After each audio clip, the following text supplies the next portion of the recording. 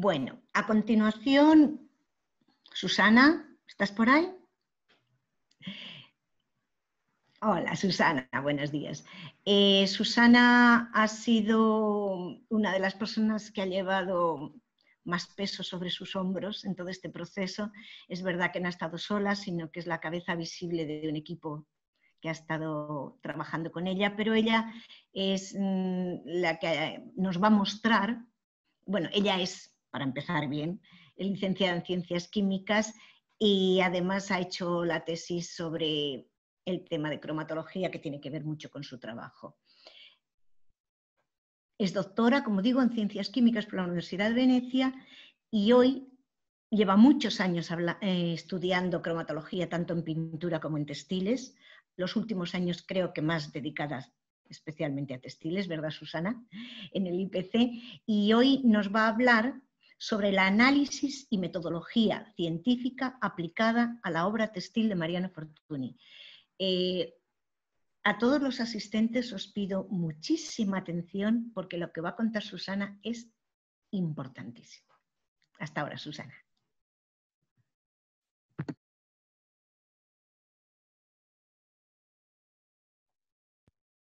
Susana, no, no te escuchamos.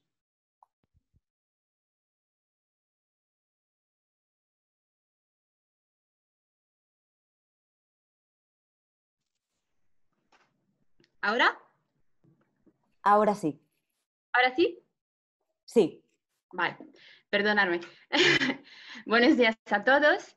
Eh, antes de todo, quiero, eh, quiero sumarme a todos los agradecimientos hechos ayer por los compañeros que me han precedido y, y sobre todo quiero agradecer al instituto eh, darme la posibilidad de trabajar en este proyecto y un agradecimiento muy especial a Lucina y Elvira del Museo del Traje que nos, ha dado, nos han dado llena libertad de tomar muestras en, en, las piezas procedentes del museo y sobre todo que han entendido la importancia a veces de coger una, una pequeña muestra y, y de, la, de, la, cantidad de información que puede dar una pequeña, mes, de una pequeña muestra eh, con, res, eh, con, respecto a los daños que se puede hacer eh, a la obra de arte, que como veréis son mínimos. Vale, voy a empezar con mi presentación compartir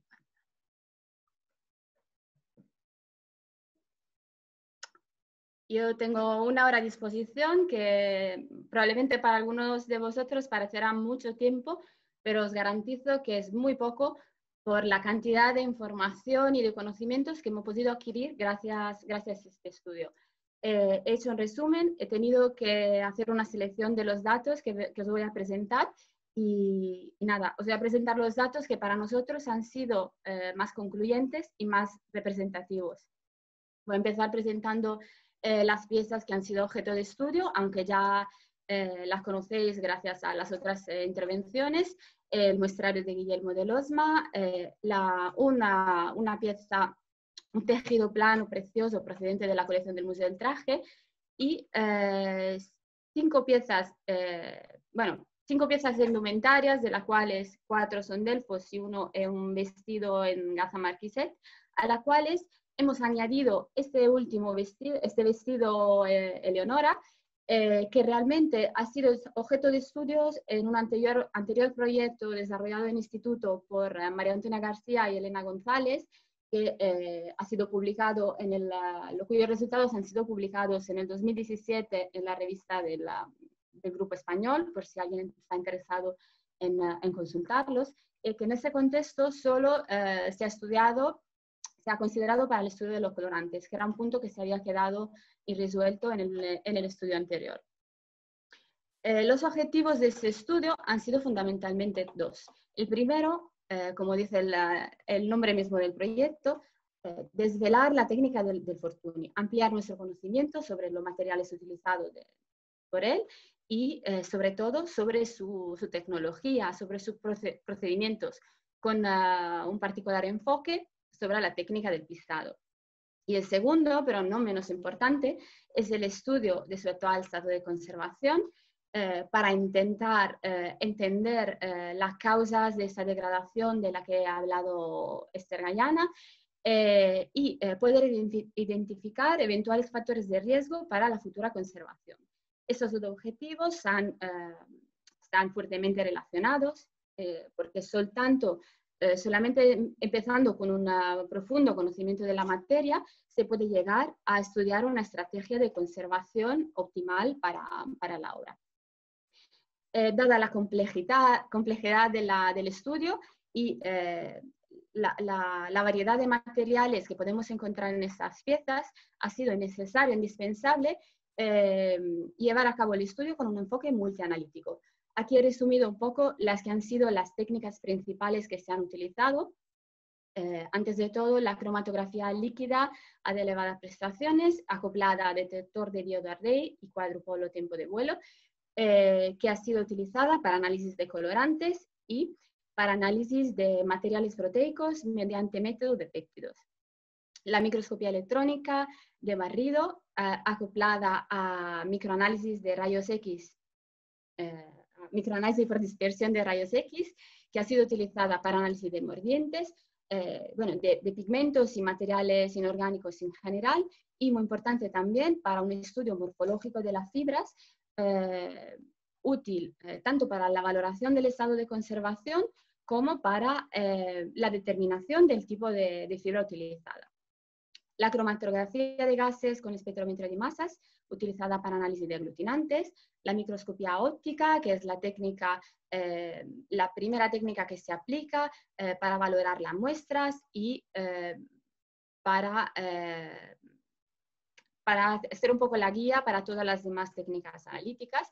Y en final, la técnica eh, espectroscopía infrarroja en transformada de Fourier es una técnica muy versátil que permite análisis tanto de materiales orgánicos como inorgánicos y que eh, en este caso específico nos ha sido muy útil para confirmar o desmentir algunas interpretaciones hechas con, las demás técnicas. Voy a empezar eh, por lo que ha sido el punto de partida de nuestro estudio esta joya artística y analítica que representa el, el muestrario eh, proporcionado por Guillermo de Losma y perteneciente a, su colección personal.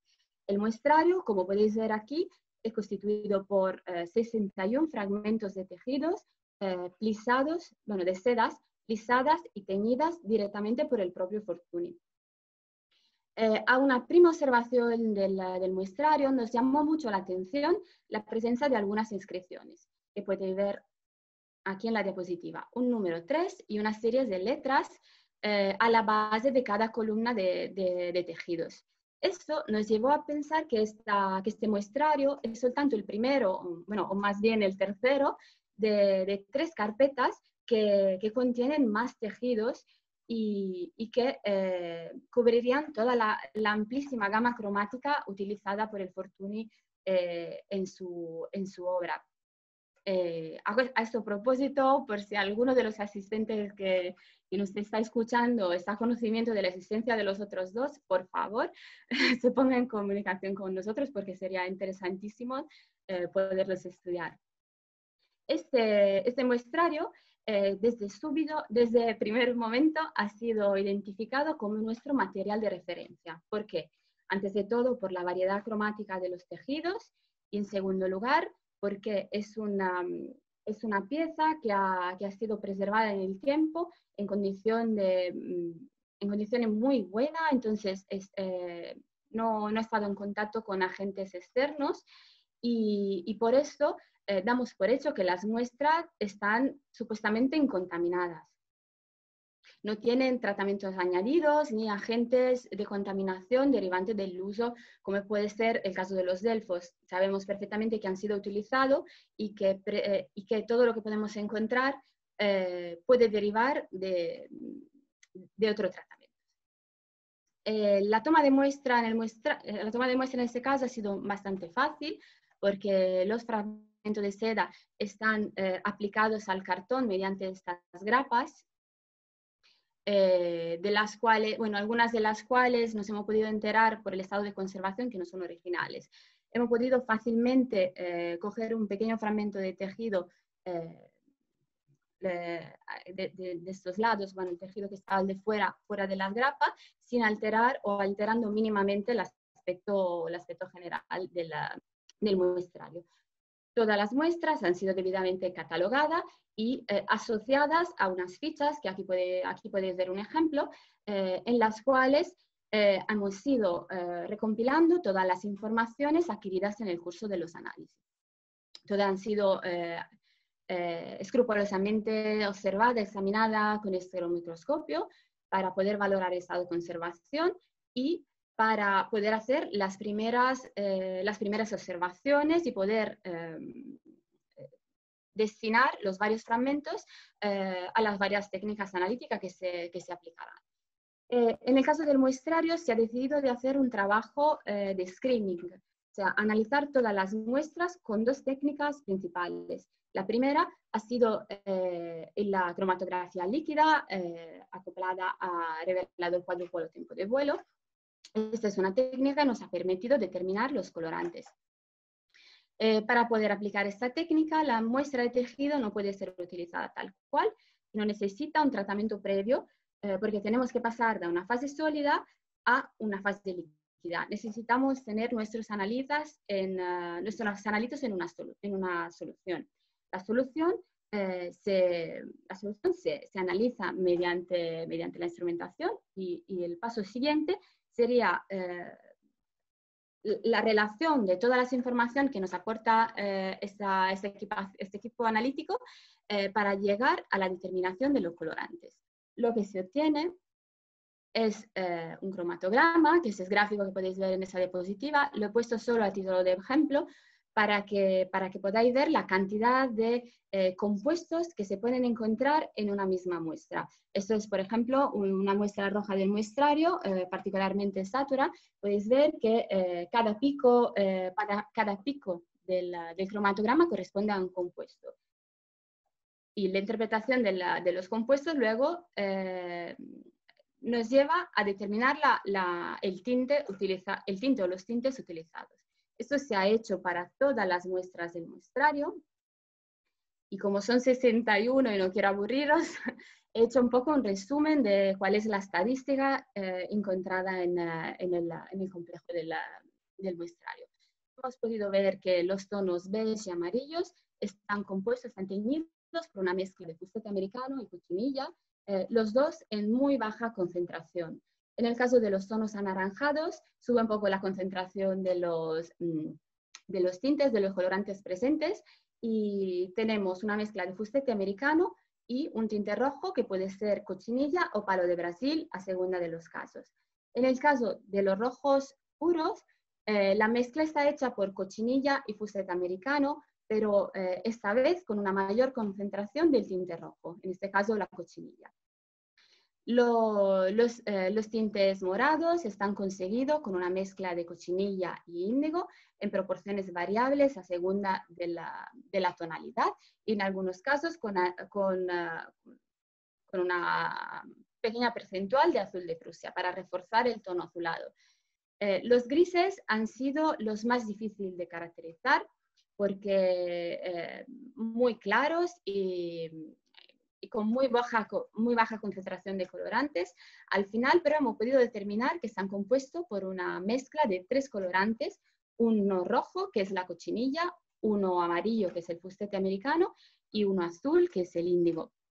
Es muy curioso como en lugar de obtener, igual de utilizar un colorante negro, en baja proporción, en baja concentración, decida utilizar esta terna de colores probablemente para obtener unos grises, unos grises más, más vibrantes con esos tonos que a veces da eh, al amarillo, a veces al rosado.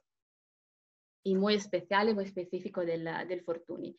Eh, los rosas son los grandes protagonistas del muestrario porque hay una, como podéis ver en esta diapositiva, hay una gran, un gran número de, de fragmentos rosas eh, hemos podido encontrar dos tipologías, dos grandes tipologías. Eh, algunos fragmentos teñidos con cochinilla y fusete americano, este último en muy, muy baja concentración, y otros eh, teñidos con cochinilla, palo de Brasil y fusete americano, siempre en muy baja concentración. Los, los, rosas teñidos con, ah, con, palo de Brasil son fácilmente reconocibles porque son estos que presentan un tono más, eh, más asalmonado. Eh, de hecho, el palo de Brasil con respecto a la cochinilla tiene un tono más anaranjado. Eh, los azules están conseguidos con ah, índigo o con una mezcla de índigo y cochinilla, eh, probablemente para obtener un tono, más, un tono más frío, mientras los azules verdosos, como previsible, están, ah, están obtenidos con una mezcla de índigo eh, y una pequeña cantidad de fusete americano para dar la componente amarilla. Eh, la misma composición la encontramos en, los tonos verdes, eh, con la diferencia que en este caso la proporción entre los dos colorantes es más equilibrada. O sea, hay más o menos la misma cantidad de índigo y de fusete americano. Eh, la gran sorpresa del muestrario, después de tantos fragmentos teñidos con colorantes naturales, ha sido encontrar en el único fragmento negro una mezcla de colorantes sintéticos. Eh, como podéis ver, eh, uno solo de los colorantes es un negro, el Amid Black 10B, mientras que los demás son colorantes eh, anaranjados o morados. esto probablemente permitía al Fortuny de obtener esos matices morados, amarillos de los negros que, que, son tan, tan particulares y que llaman tanto la atención.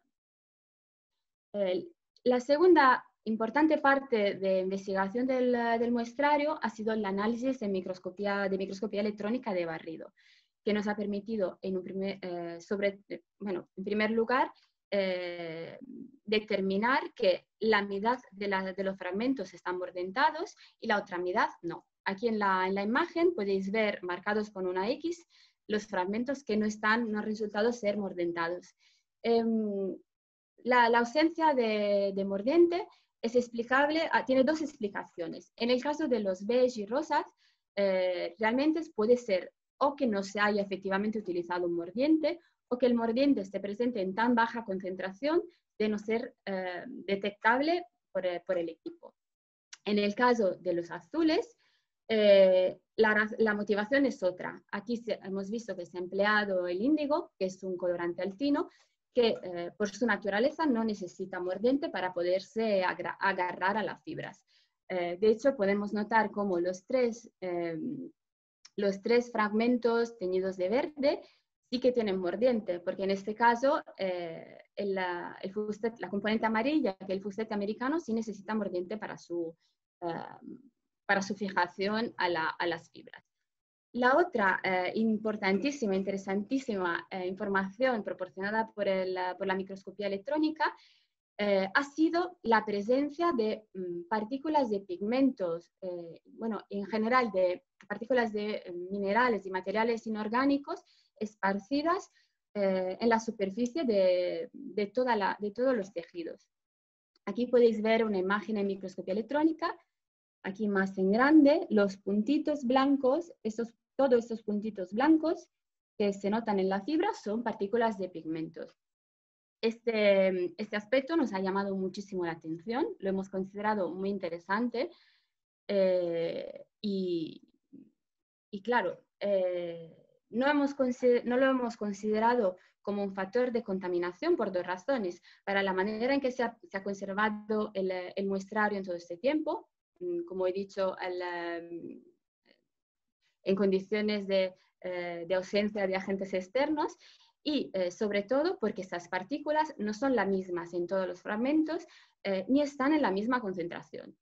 en general, para resumir un poco los resultados obtenidos, se puede decir que en los tonos más cálidos, en los rojos, los naranjados y los amarillos, las partículas más frecuentes son el vermellón, el latón y el vidrio, mientras que los tonos más fríos, los verdes y los morados y los azules, eh, se han encontrado partículas blancas como la varita, la calcita, el blanco de zinc y el blanco de titanio. Y en algunos casos también el azul de Prusia. Eh, como he dicho, estas partículas no están distribuidas eh, en manera uniforme en todo el muestrario, sino algo, hay algunos fragmentos donde hay una concentración mucho mayor. Están aquí marcados con estas flechas.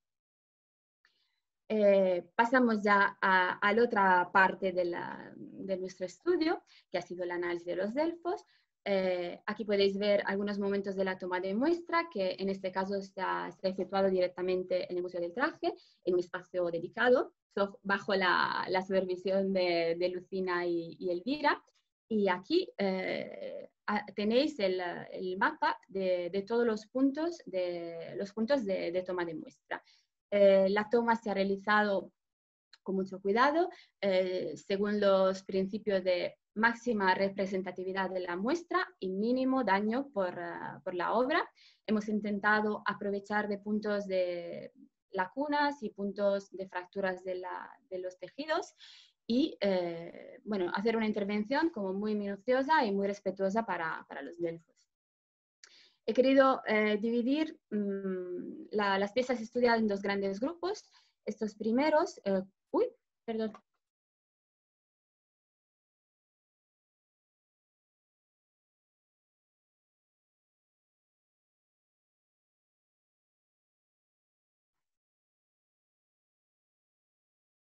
Mis disculpas. Bien. Esos primeros que son caracterizados de la presencia de decoraciones pintadas y esos otros dos. Eh, uno de, bueno, el primero, el Delfos, porque eh, presenta un tejido uniforme eh, en ausencia de decoraciones. El vestido Leonora, que aunque presenta una decoración, en nuestro caso ha sido estudiado solo el punto de vista de los colorantes.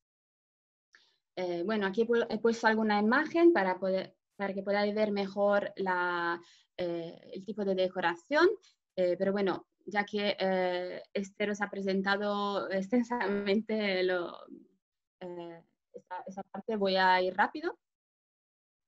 He querido juntar estos, estos dos primeros ejemplares, el, el, vestido de manga largas y el Delfos en tres bandas, porque eh, los resultados que se han encontrado son bastante, bastante parecidos.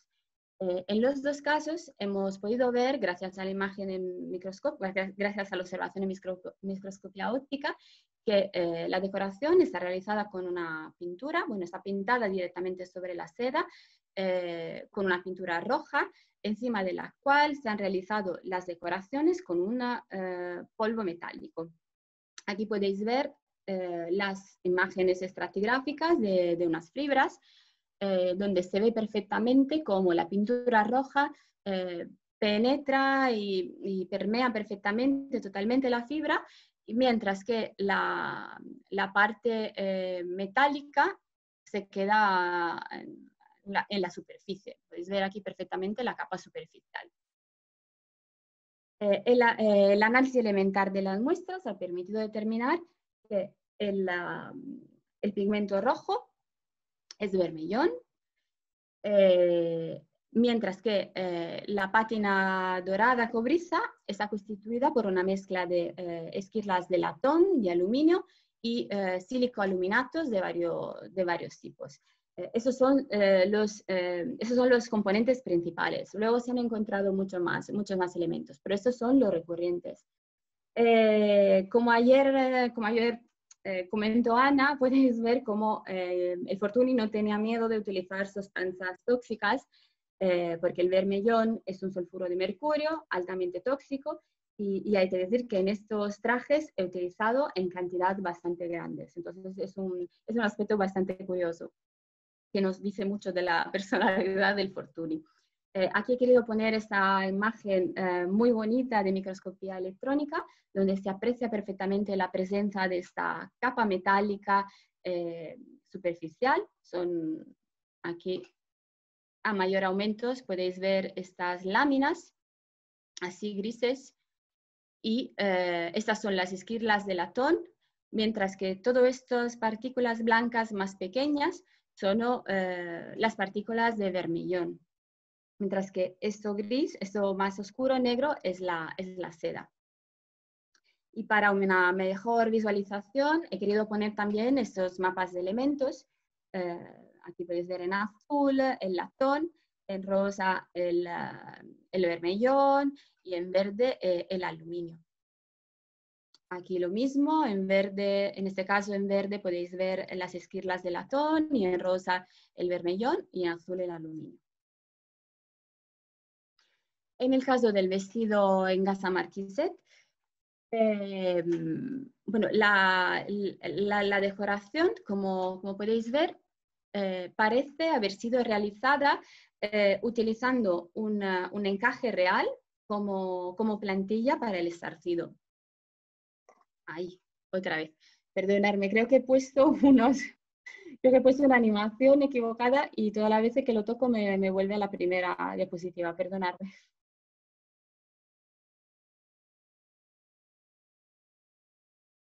Aquí. Eh, los análisis eh, nos han permitido ver que eh, los materiales utilizados para la capa pictórica metálica son los mismos más o menos de los otros dos, el latón, vermillón, aluminio y, en este caso tierras, pero en este caso están aplicados directamente, directamente sobre la seda, no en una capa de pintura como, como ha sido por los, por los anteriores.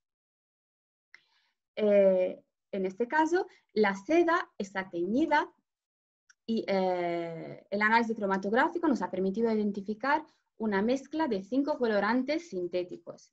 Una vez más, así como, pasa, como pasó por el muestrario, es muy singular que el Fortuny haya decidido de eh, no limitarse al utilizo de un colorante negro, sino a, utilizar una mezcla de colorantes eh, anaranjados y violetas para dar ese matiz tan cálido y tan vibrante que tienen su, eh, sus sedas.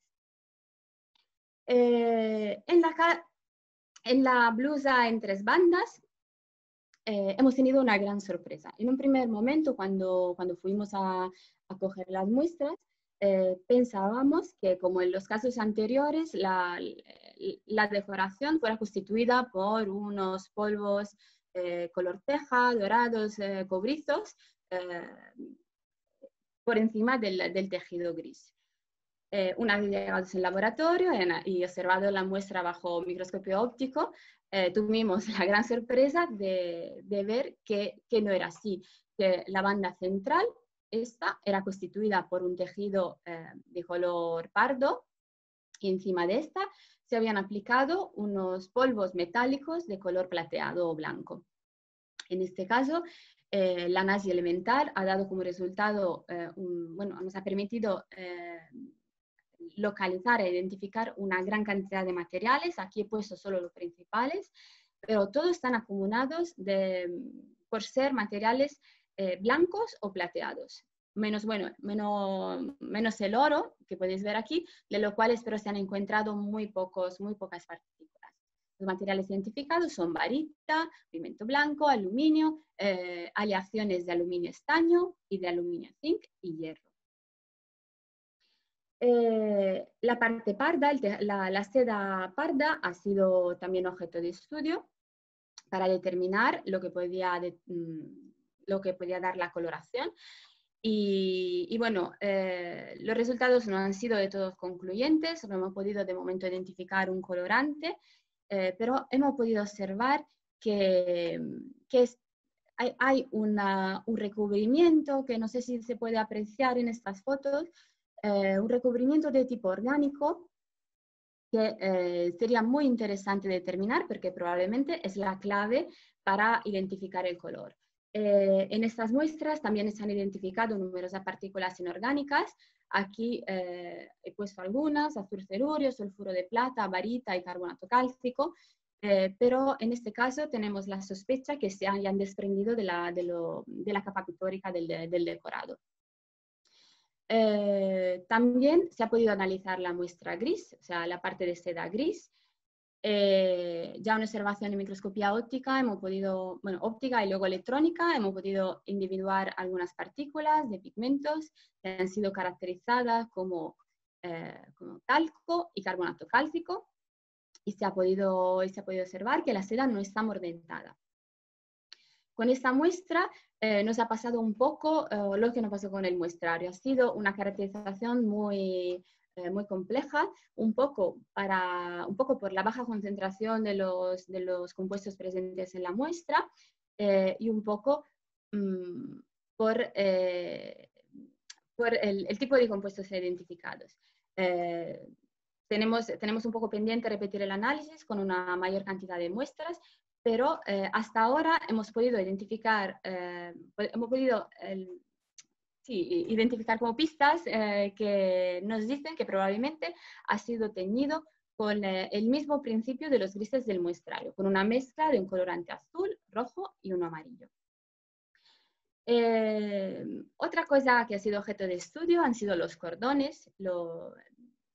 En un primer momento no le dimos mucha importancia, mm, tomamos las muestras eh, para representar todo, todos los elementos de, los delfos, pero en un primer momento pensábamos que los cordones no, no, fueran muy importantes porque a lo mejor el Fortuny podía adquirirlos directamente, comprarlos así, pero eh, las observaciones y, y, los resultados analíticos nos han llevado a pensar que probablemente eh, él mismo hacía los cordones o si no hacerlos sino hacerlos, por lo menos lo modificaba.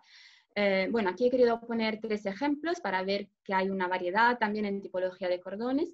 El, primero está constituido por dos elementos, uno negro y un hilo eh, dorado, que eh, una vez analizado, observado en microscopía óptica, ha resultado ser un hilo entorchado.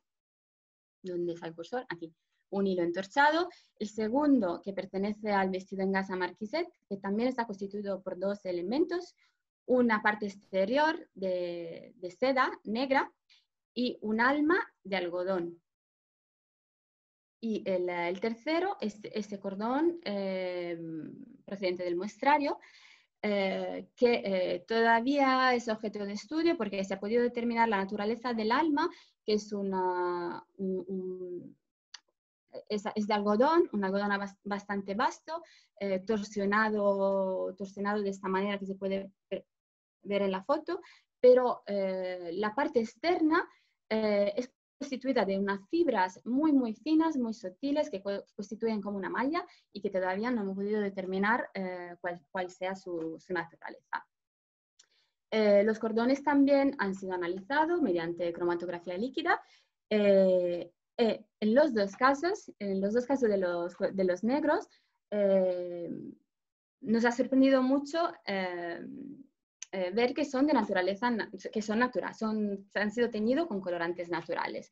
Esto ha sido teñido con una mezcla de campeche y, um, y fustete, mientras que el otro con una mezcla de eh, campeche y otro colorante amarillo que eh, de momento no hemos podido, no hemos podido identificar, aunque, aunque sí sabemos que es un amarillo.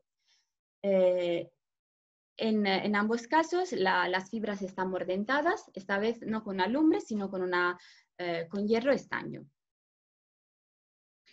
Eh, he querido poner mm, esta diapositiva con un resumen de, todo, de todos los negros encontrados eh, en los después estudiados en este proyecto, en, bueno, en las piezas estudiadas en este proyecto, para que veáis la, la variedad eh, solo en dos casos hemos encontrado una, correspondencia perfecta, es el caso del vestido de Leonora y del, del cordoncillo del Delfo color tabaco, mientras que, los, eh, mientras que los demás varían.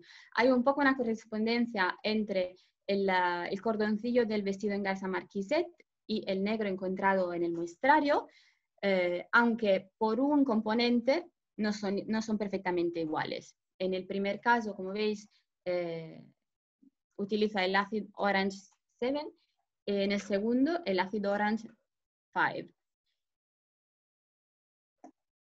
Otro punto muy importante que investigar, después de todas estas investigaciones sobre la componente eh, inorgánica, ha sido la componente orgánica. Eh, esto porque en el curso de la investigación nos han surgido muchos interrogativos y muchas dudas. el primero, se ha utilizado, bueno, ¿qué, aglutinante se ha utilizado eh, para las capas pictóricas? ¿Qué adhesivo se ha utilizado eh, para las aplicaciones de polvo metálico? Que, em, bueno, si se haya utilizado o menos un adhesivo, un, aditivo para la realización del plisado y em, si se ha utilizado un aglutinante para estos polvos de pigmentos que hemos visto ser una, componente, una constante en, todo en todas las piezas estudiadas. Las primeras dos preguntas eh, han podido ser em, en parte resueltas gracias al estudio de, de los delfos. Eh, en particular caso, en estos, dos, em, en estos dos hemos encontrado que la parte pictórica está realizada con una mezcla de, bueno, con pigmentos aglutinados con, ah, con cola animal, mientras que eh, la, los polvos metálicos han sido aplicados con clara de huevo. Las otras dos preguntas son mucho más complejas. y han necesitado un estudio, una estrategia más, más estudiada, más grande. De hecho, estamos todavía en curso de análisis. Hemos decidido efectuar este estudio utilizando las muestras del, del muestrario porque como se ha dicho anteriormente, son muestras contaminadas. Entonces sabemos que eh, todo lo que podemos encontrar en estas muestras, eh, con mucha probabilidad, ha sido puesto voluntariamente eh, por el Fortuny y no es ni ópera de una siguiente intervención ni algo que se ha podido, que se puede relacionar con el utilizo que se ha hecho de los vestidos. En un primer momento se ha, en un primer momento se ha, se ha empezado a hacer el estudio con la técnica de gas cromatografía. Se han aplicado tres distintas metodologías, tres distintos protocolos, que son los protocolos desarrollados en el Instituto, en el Instituto de Patrimonio para análisis de, eh, de ácidos grasos y resinas, para análisis de, de aminoácidos y para análisis de eh, polisacáridos. Esta primera, esta primera fase de análisis no ha dado eh, resultados concluyentes del todo. Eh, en caso de los óleos, de la resina y de los polisacáridos, sí nos han permitido excluir la presencia de estos compuestos en el muestrario. Pero en el caso del, de los aminoácidos, bueno, de los materiales proteicos, no, no, ha sido posible llegar a unos resultados concluyentes por, eh, por la interferencia de la matriz. Como se ha dicho, la seda en sí mismo es un material proteico y con esta técnica no es posible distinguir eh, los aminoácidos que proceden de la seda de los que proceden de un, eventual eh, material proteico aplicado, eh, aplicado, para, aplicado encima. entonces, hemos pasado a otro, a otro step, otro nivel, eh, un estudio mucho más complejo con un uh, protocolo de análisis que, que, se ha desarrollado en el instituto y que prevé eh, la, búsqueda y la caracterización de proteínas no basándose en el estudio de los aminoácidos, sino en el estudio de péptidos. Eh, este método nos ha permitido identificar algunos marcadores procedentes de la clara de huevo.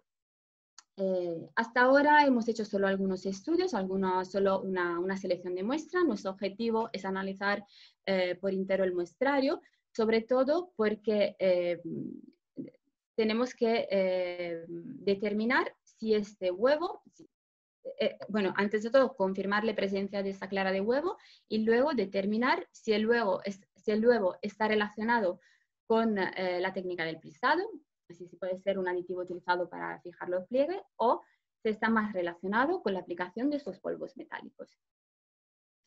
Eh, por último, eh, os presento muy brevemente, porque no sé cómo voy de tiempo, eh, los resultados obtenidos con, ah, con, el tejido plano, esta, esta maravillosa pieza. aquí podéis ver la, bueno, la toma de muestras, podéis ver que hemos Hemos cogido muchas muestras de muchos puntos porque la variedad cromática de esta pieza es increíble. Aquí la toma ha sido oh, un poquito más compleja, más difícil, porque la, la pieza se encuentra en un estado de conservación muy bueno.